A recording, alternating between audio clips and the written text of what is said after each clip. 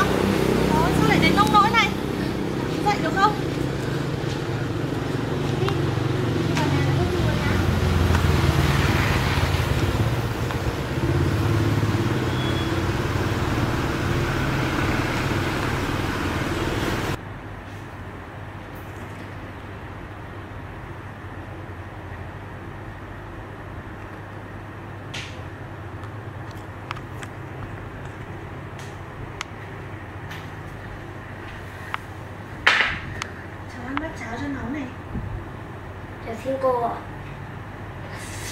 Ôi. Ăn từ từ thôi thôi mẹ. Khổ thân. Đi làm thế này chắc bố mẹ ở nhà lo lắm. Đây có cốc nước. Cháu uống đi. Rồi Dạ cho xin cô ạ. Rồi cho cô địa chỉ nhà. Có gì cô đưa về nhá. Cháu không muốn về đâu. Cháu không muốn về nhà. Tại sao cháu lại không muốn về nhà? Ừ. Cháu không muốn về đâu, cô đừng bắt cháu về. Ừ, Sao lại thế? Có gì kể cô nghe xem nào. Cháu, cháu. Nói đi đừng sợ Có cô ở đây rồi. Mẹ cháu vừa mất Cháu phải sống với ba dượng. Ba dượng ngày nào cũng đánh đập cháu Nên cháu cháu đã tìm cách trốn ra đây ạ. Trời ơi Sao lại có thể như thế được? Thôi được rồi Cô không bắt cháu về nữa Tội nghiệp thật. Tại sao lại có thể đánh đập trẻ con ra nông nỗi này cơ chứ?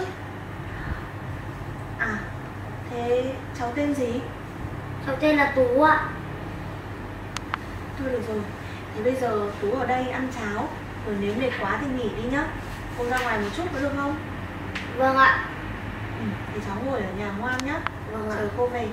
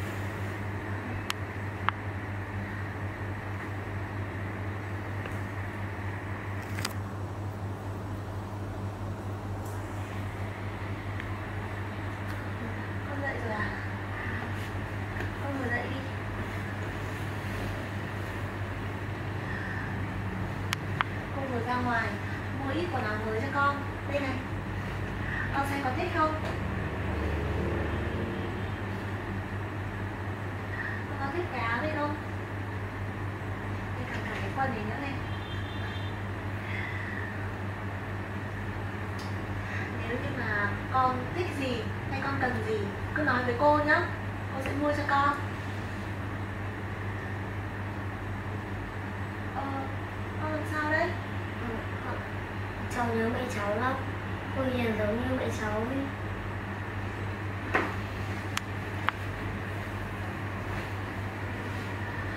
Tội nghiệp Mà cô bảo con này Từ bây giờ con đừng đi lang thang ở ngoài đường nữa Nguy hiểm lắm Mà con lục lọi đồ đạc của mọi người Mọi người lại tưởng con ăn cắp ăn trộm Lại đánh con thêm ra Cô cũng có ba đứa con gái Muốn nhận nuôi thêm một đứa con trai như con. Mà sợ À Thôi, hay như thế này đi. Con ngồi đây chờ cô. Cô đi chuẩn bị nước cho con tắm. Rồi con thay bộ quần áo mới này nhá. Ngồi đây chờ cô nhá.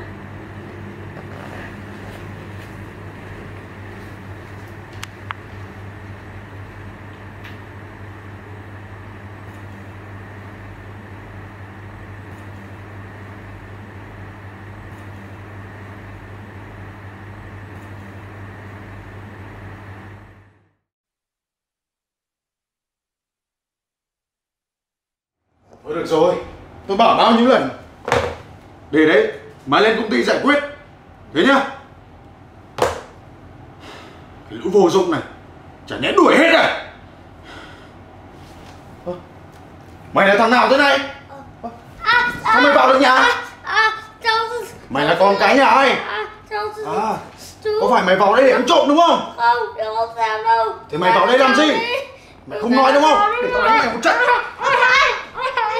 em bảo đây không kìa cháu có sao không sao anh lại to tiếng như thế làm nó sợ thế này? Nó là cái thá gì Mà cô bảo vệ nó như thế? Thằng bé này sáng nay chết đói ngất xỉu ở dưới nhà mình. Em mới liền đưa nó lên đây. Nó mồ côi mẹ rồi ở nhà bị bố dượng đánh đập. Nên em thấy thương quá mới đưa nó về nhà mình đấy chứ. Vô lý. Làm gì có chuyện như thế? Có phải là cô bịa ra để gạt tôi đúng không? Anh tại sao em bịa ra để làm gì chuyện này hoàn toàn là sự thật. Cái đồ lăng nhăng. Giờ cô còn định đem nó về để nuôi phải không? Đừng có mơ tôi cùng với thằng đồ vỏ tại sao lại như thế? Tại sao anh lại có thể nghi oan cho em như vậy? Cô còn như thế một lần nữa Thì cút ngay khỏi nhà tôi. Có nghe rõ chưa? Tôi không thừa tiền để nuôi cái thằng con hoang này. Anh. Mà cả mày nữa Cút. Đừng để tao gặp lại lần nữa nhá Cô giải quyết của nợ đấy đi. Cháu cháu có sao không? Cô xin lỗi đã không bảo vệ được cháu. Trong cái nhà này cô chẳng có quyền hành gì cả. Có phải tại cháu mà chú muốn đuổi cô đi không ạ? À à không không phải như thế đâu. Chỉ là chú chưa hiểu chuyện thôi ừ, lát nữa cô sẽ tìm cách nói chuyện với chú để nhận nuôi cháu nhé à, còn bây giờ thì cháu ngồi đây à, chơi đi rồi chờ cô cô sẽ ra ngoài kia nấu cơm cho cháu nhé vâng ạ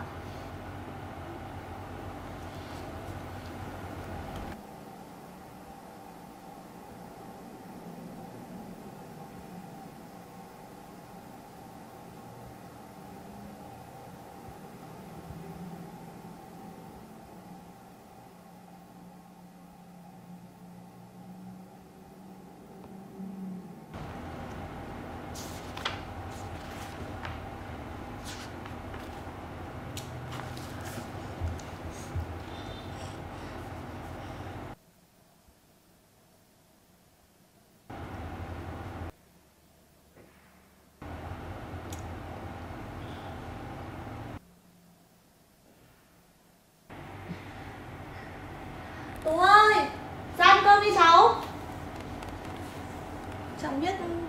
Chẳng biết thằng bé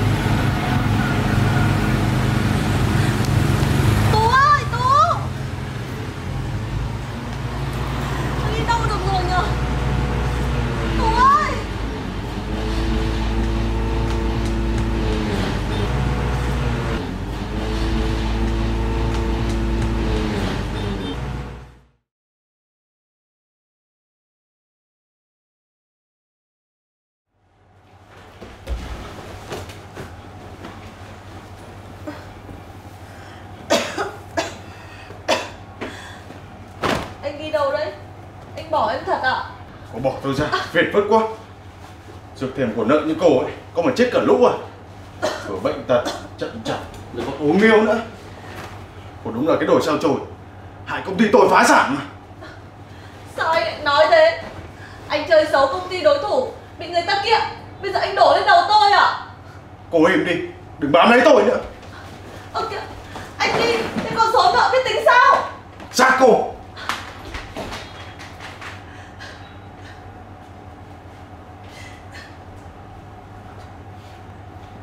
Thằng Hiếu đâu?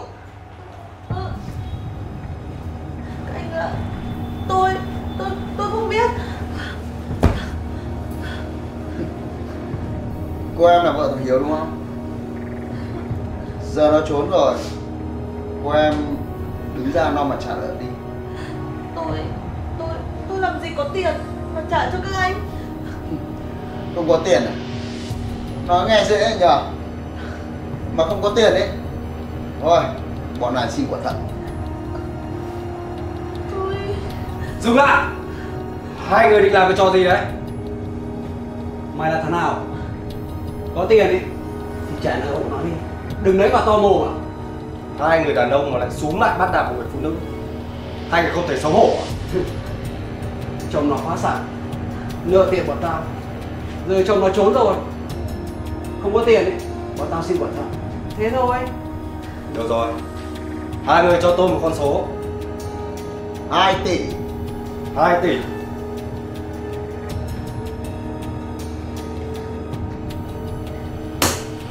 Đây là các visit của tôi. Sáng mai hai người đến công ty, tôi sẽ thanh toán đầy đủ cho hai người, không thiếu một nghìn. Có bây giờ thì biến đi. Em nghe nói Chủ tịch tập đoàn Việt nó to, khủng khiếp lắm. Thôi, anh cứ thư giãn ở chơi Mai anh em mình gặp Thế nhá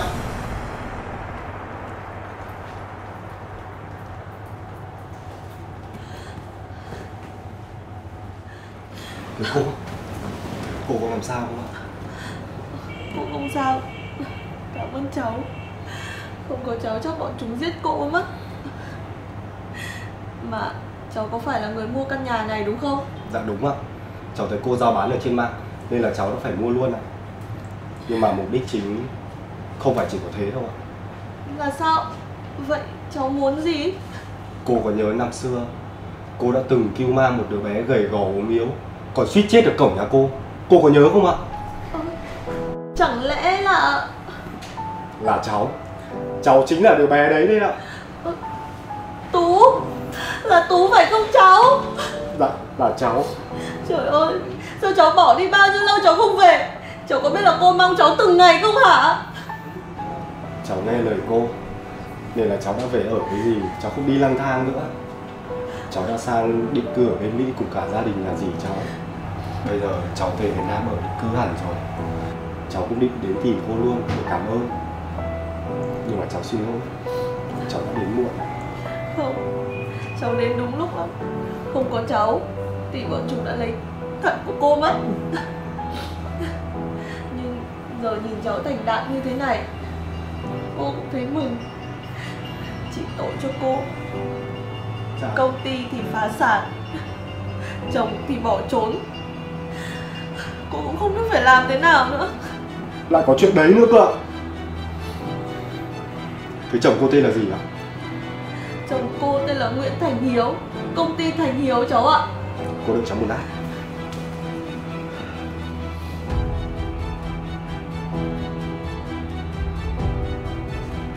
Alo, Cậu liên lạc với bên công an và bên hải quan giúp tôi. Chặn mọi đường đi lại của ông Nguyễn Thành Hiếu, Giám đốc công ty Thành Hiếu. Hắn ta là một tên lừa đảo, Chuyên môn đi lừa các công ty ở trong nước. Ok, Tốn bao nhiêu tiền tôi cũng chi. Đừng để hắn ta lọt lưới là được.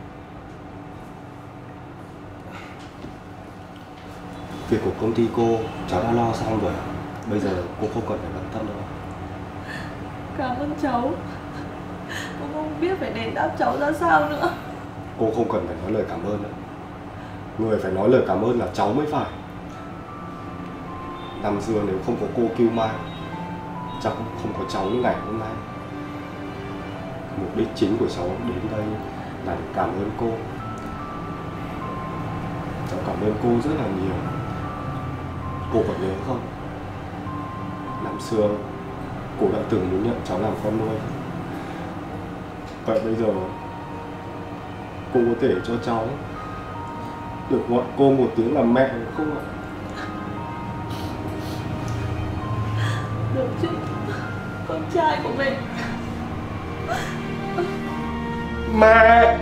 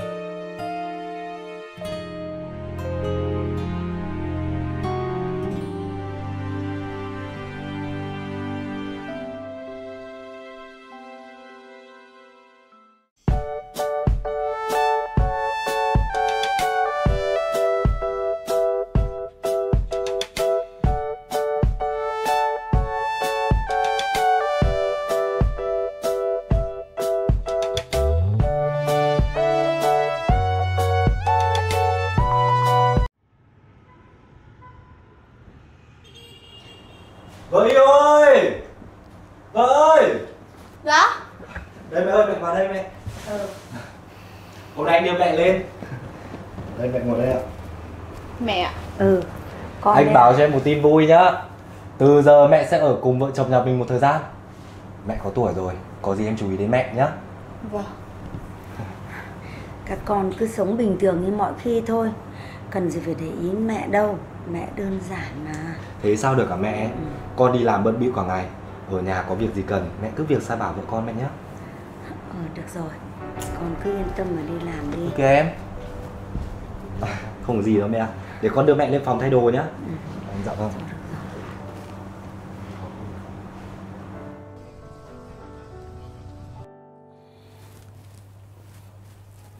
Ôi rồi ôi Mẹ!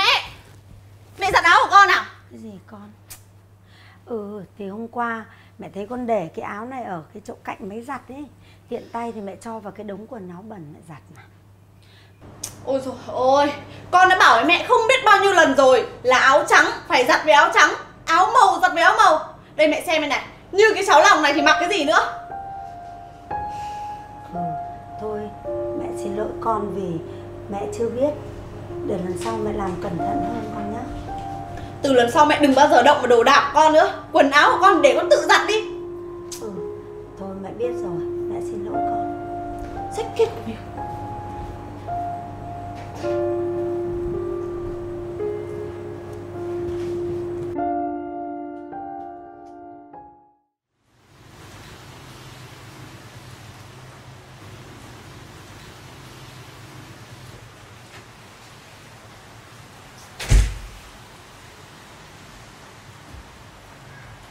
có chuyện gì thế?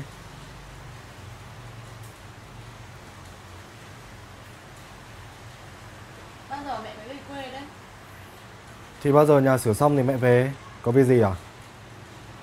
Thế thì biết bao giờ nhà mới rửa xong? Em sẽ phát điên lên rồi đấy. Mới cha mẹ có mấy hôm mà đã chán rồi à? Đây này, anh nhìn đây này. Áo của em như này hỏng hết rồi làm sao mà mặc nữa? Ui dồi ôi có cái áo. Hôm khác anh mua bù cho cái mới được chưa? Sao anh nói nghe nhẹ nhàng thế nhở? Anh có ở nhà mà biết. Mẹ mẹ chả giúp được gì em chớ Mỗi lần em ra chợ. Mẹ kêu cái này đắt cái kia đắt Thế này thế kia Em sắp phát điên rồi đấy. Rồi từ từ mẹ khá quen. Với cả tính mẹ từ xưa giờ tiết kiệm em còn lại cái gì? À mà này Sao mẹ không lên nhà chị My ở? Mà đến tận nhà mình làm gì cho xa xôi bất tiện ra? Thì chị My còn phải ở nhà còn lo chuyện nhà cửa nữa Đang sửa chữa. Thời gian đâu mà chăm sóc mẹ biết cái gì cả. Chị My á, chị đùn đẩy trách nhiệm cho anh đấy. Em lại bắt đầu suy diễn linh tinh rồi đấy. Mà thôi Em chả biết đâu. Tóm lại là em không biết ở với mẹ anh nữa đâu. Ơ kìa em?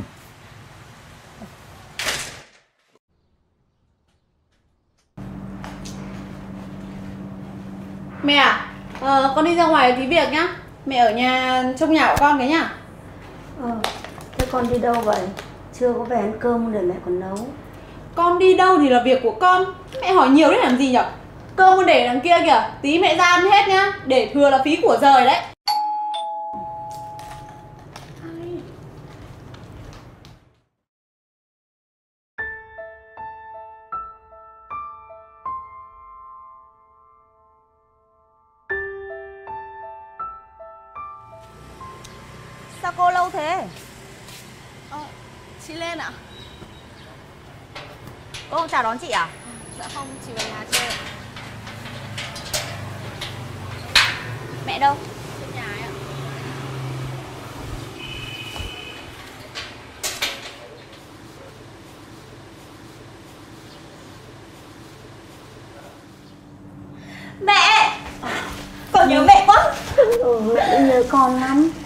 Này mẹ có khỏe không?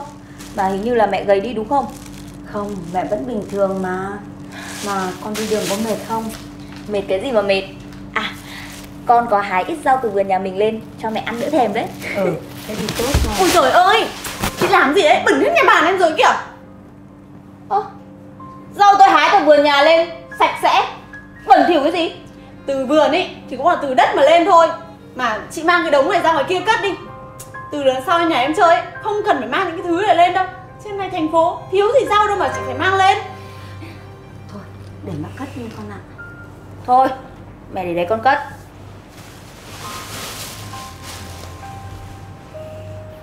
Con đi đây nhá.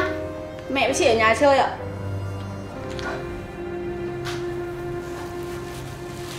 Này bẩn này. Mẹ xem Bây giờ nó còn thái độ trả treo lại với con đấy dù sao nó cũng là vợ của em con mà. Kệ nó đi.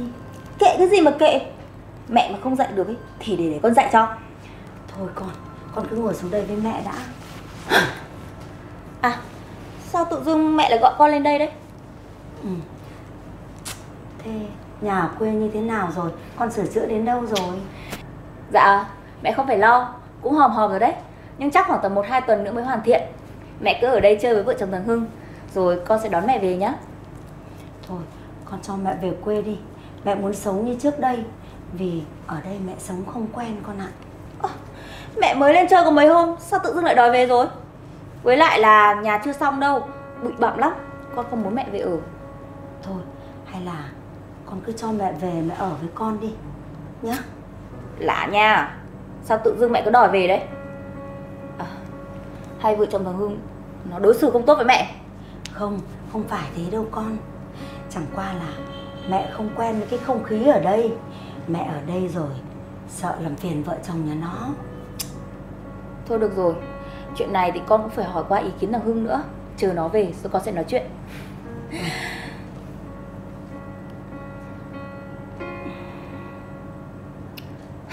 Thôi Con đói bụng quá Để con vào bếp xem có gì ăn không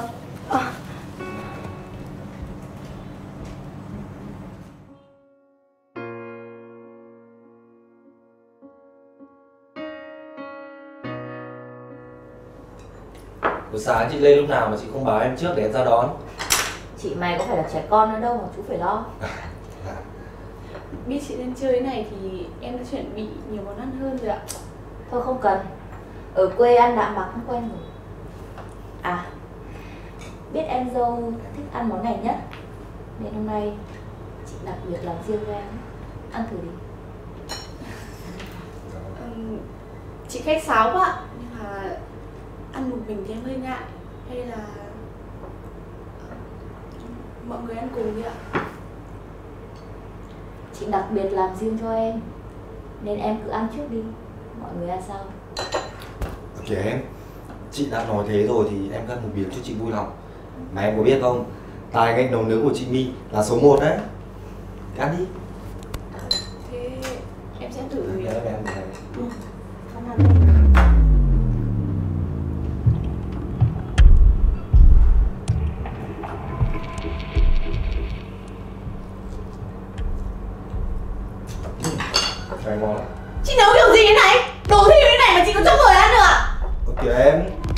nào?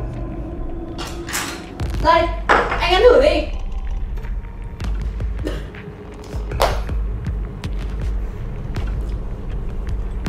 Ừ. Kìa ừ. chị.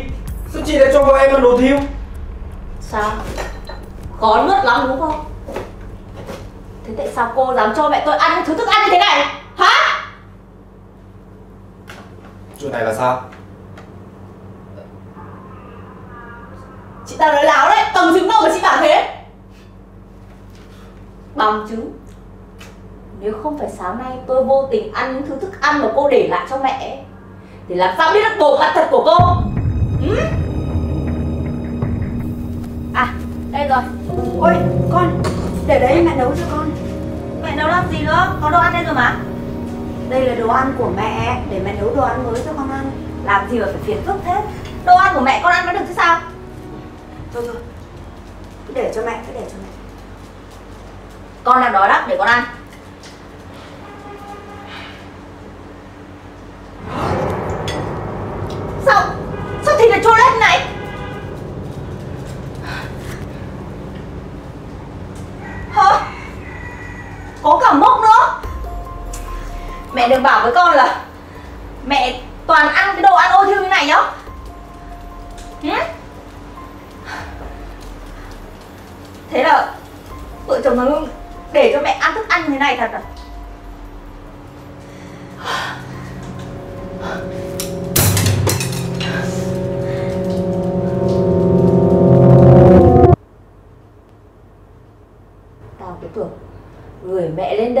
vợ chồng mày chăm sóc thì mẹ sẽ được sung sướng thoải mái hơn ở quê.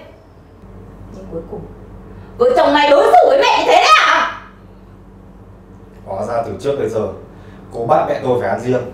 Là ăn những đồ ăn ôi thiêu như thế này à? Không không phải như thế đâu. Là mẹ mẹ bảo là mẹ ăn được thì em mới để lại. Chứ mày bây giờ mày còn dám đổ lỗi cho mẹ tao đấy à chị đừng mà quá đáng tôi giữ lại là để tôi tiết kiệm. Mẹ nói là mẹ ăn được thì tôi mới cho mẹ ăn nhá. Mày nói là ăn được.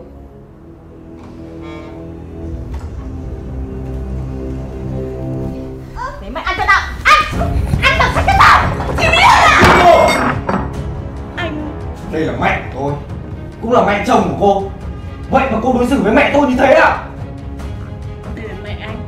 Chứ không phải là mẹ tôi Anh có bao giờ nghĩ đến cảm giác của tôi không? Tôi không ngờ là cô lại thốt ra những lời như thế đấy. Thôi Con đừng cãi nhau nữa. Là mẹ không tốt.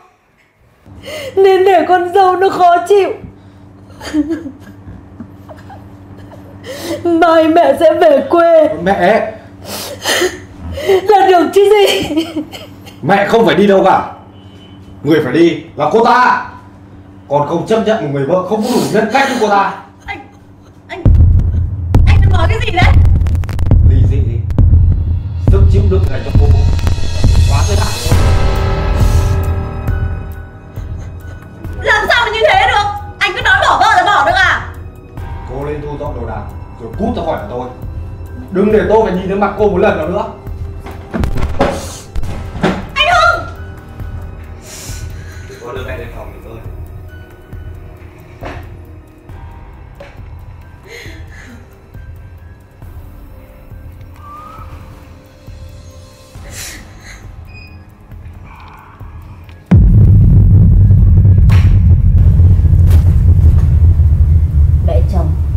Tuy không phải là mẹ ruột.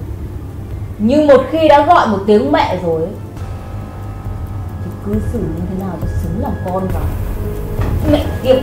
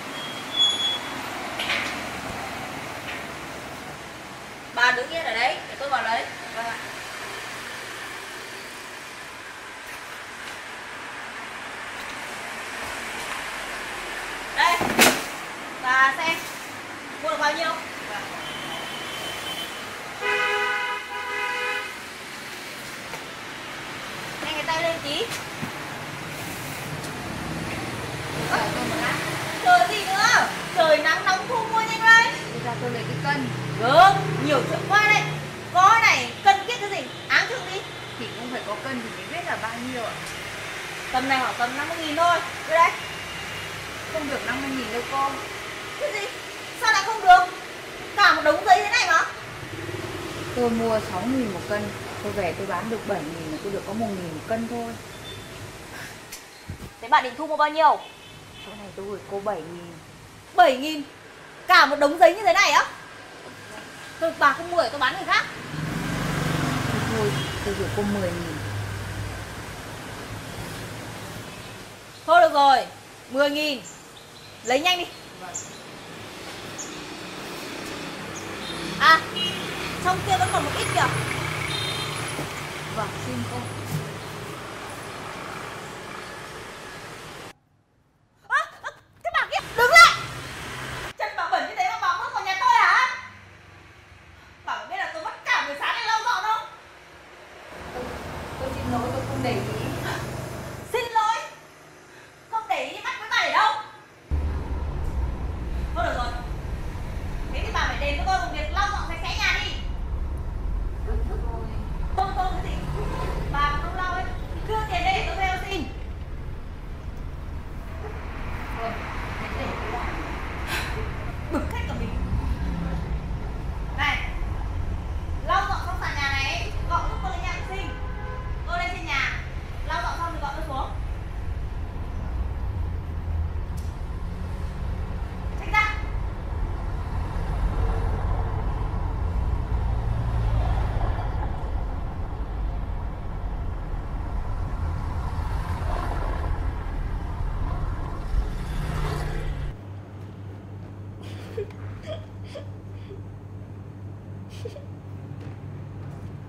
Cô ơi, cô ơi Gì nhở à, Chắc là dọn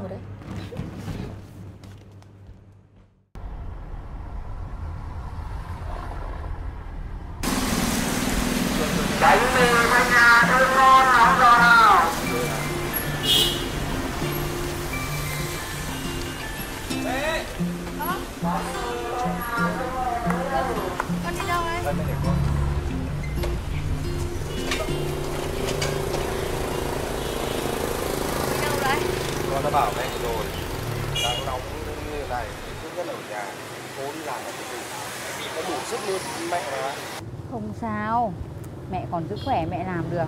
Con cứ yên tâm Không phải lo cho mẹ. Nhưng mà nhìn mẹ đi làm này Nó sót lắm. Mẹ biết sức khỏe mẹ đến đâu là mẹ sẽ làm đến đấy. Mẹ mệt là mẹ sẽ nghỉ Con cứ yên tâm. Chứ mẹ cứ ở nhà mãi cũng chán lắm con ạ. Thôi mẹ nói thế thì con cũng chịu thua mẹ. À mẹ ơi Nhà bạn gái con ngay gần đây Hay là mẹ vào ngồi uống cốc nước cho mát nhá? Thôi Cứ chung mẹ vào như này người yêu con chạy mất dép. Ơ mẹ buồn cười thế nhở? Mẹ có biết không Bạn gái con á vừa ngoan vừa hiền vừa tốt bụng Mẹ không phải lo đâu. Thiếu gì lúc ra mắt Để lúc nào mẹ ra mắt phải đàng hoàng một tí con nhá. Vâng tôi thế cũng được. À bây giờ con vào mang cơm cho bạn gái rồi con đi làm luôn mẹ nhá. Thôi con đi vào đi Để mẹ đi về nhá. Vâng dạ vâng. Đây con dắt xe cho. Rồi để đấy cho mẹ. Vâng. Thế đi cẩn thận nhá. đi đi. Con chào mẹ. Ừ con đi đi nhá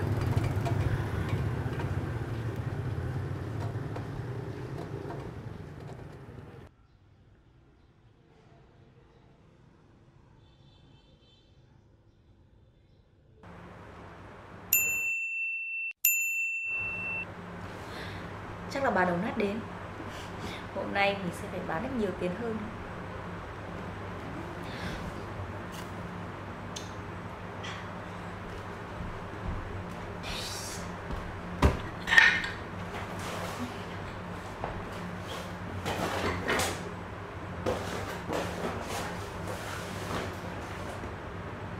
mẹ nhở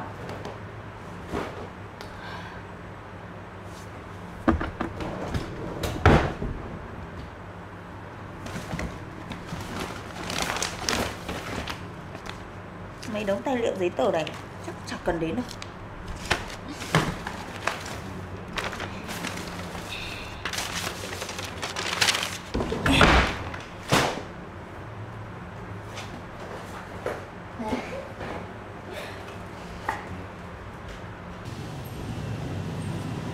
Đây ạ, của cô. Ừ.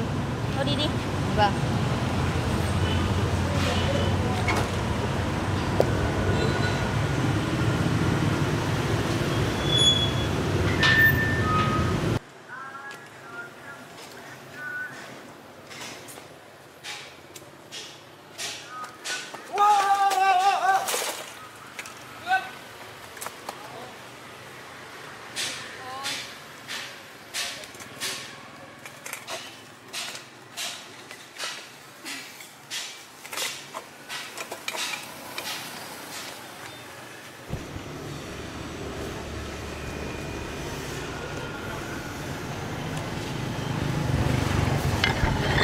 Ôi Lấy bao giờ không?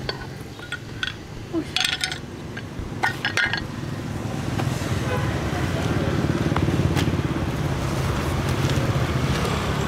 Ôi cái gì thế này?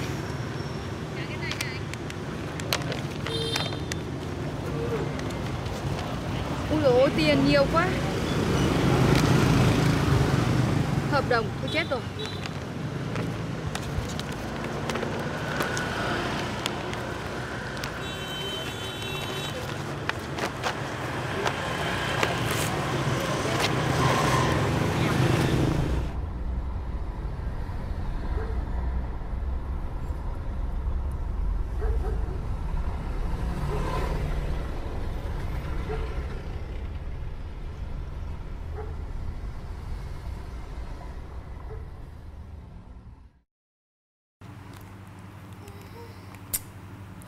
Lâu lắm rồi chúng mình mới có ngày nghỉ với nhau nhở?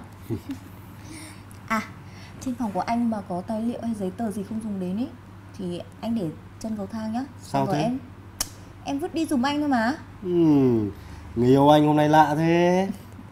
Em là phụ nữ trong việc nhà đấy nhá. Ừ. Ôi cũng trưa rồi.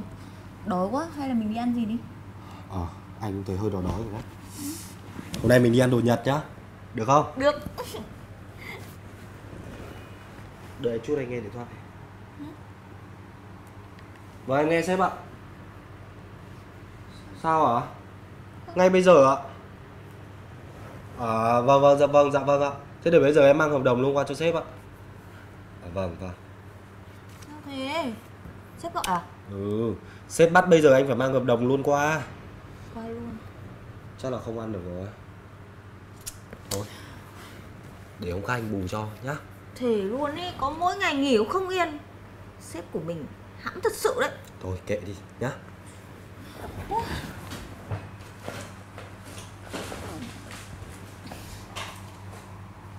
My ơi. Đó Em có thấy hợp đồng của anh để đây đâu không? Sao em biết được? Hợp đồng anh cất chứ có em cất đâu. Quái lạ Không thấy nhở? Anh tìm kỹ đi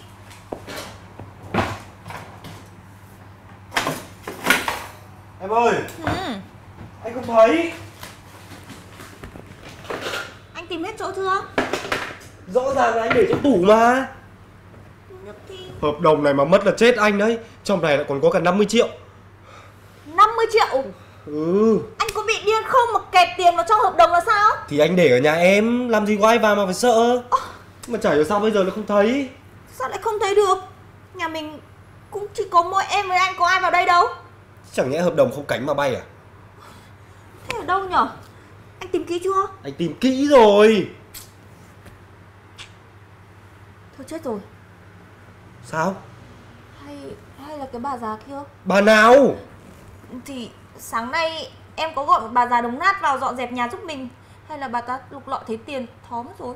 Trời đất ơi Sao tự nhiên em lại cho người lạ vào nhà? Em dễ tin người thế à Khổ quá thì em nhìn thấy bà ta cũng đáng thương hiền lành thật thà thì em mới cho vào chứ. Bây giờ biết tìm bà ý ở đâu? Mà bà ta cũng chỉ quanh quẩn ở mấy cái khu vực gần đây thôi.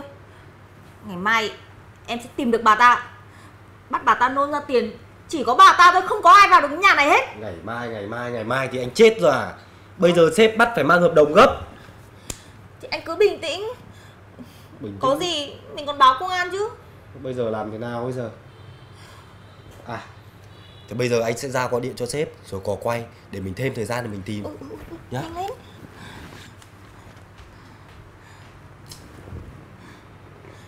Bản giả trích tiệt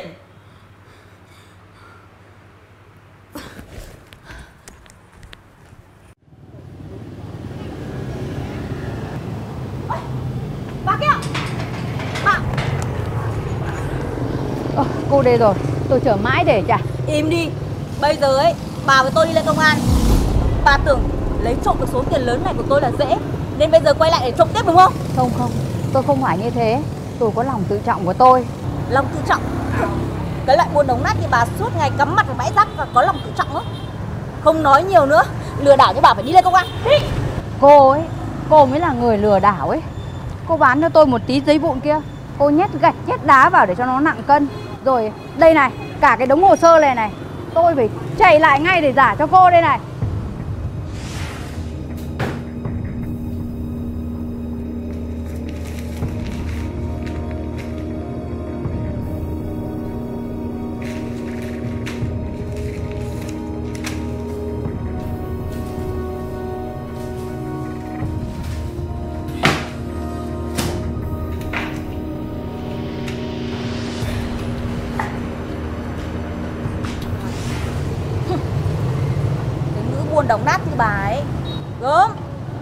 một bán 10 Tôi còn làm quái gì?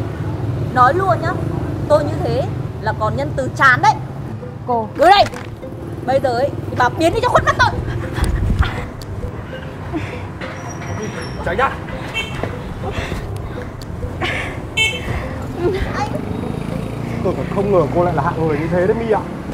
Sao, sao tự nhiên anh lại đi bênh bà ta đẩy em? Bà ta Đây là mẹ của tôi. Mẹ của tôi đấy, cô biết chưa?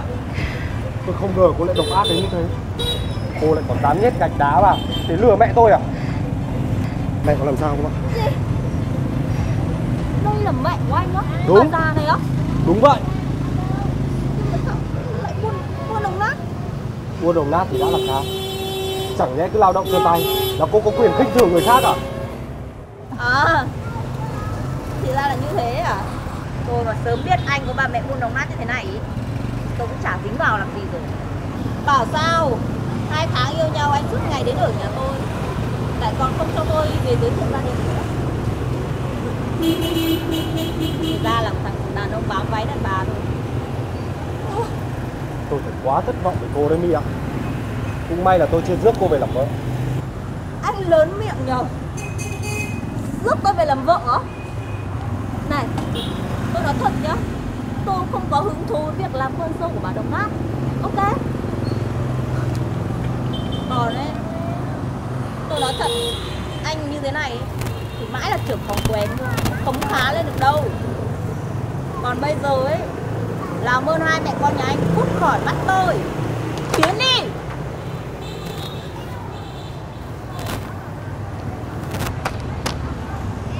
Tôi quên chưa nói cho cô biết. Có bản hợp đồng này trong tay rồi Chắc chắn tôi sẽ được thăng chức làm giám đốc Lúc đấy thì tôi có quyền đuổi việc cô rồi đúng không Bây giờ cô nên vào nhà Và nghĩ xem mình sẽ làm công việc gì tiếp theo đi Có thể là mua đồng nát chẳng hạn Ừ. Anh nhìn mặt tôi có giống con ngu không? Trưởng phòng quèn Mà anh đòi leo một phát lên giám đốc không? Nếu có công tin Cô có thể gọi điện trực tiếp cho sếp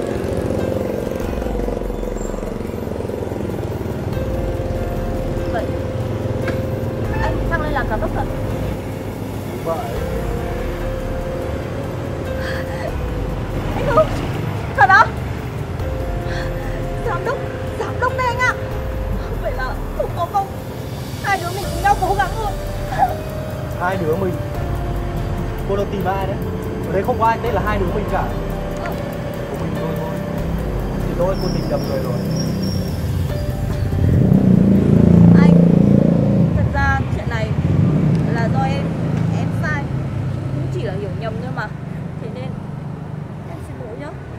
rồi Bác cho con xin lỗi ạ Quá muộn rồi kìa Đâu, chúng ta đi thôi ạ Em cầm giúp không? Lần sau. Cô đừng làm những việc thất đức như thế nữa. Trời có mắt đấy cô ạ. Mẹ ơi, chúng ta đi thôi ạ.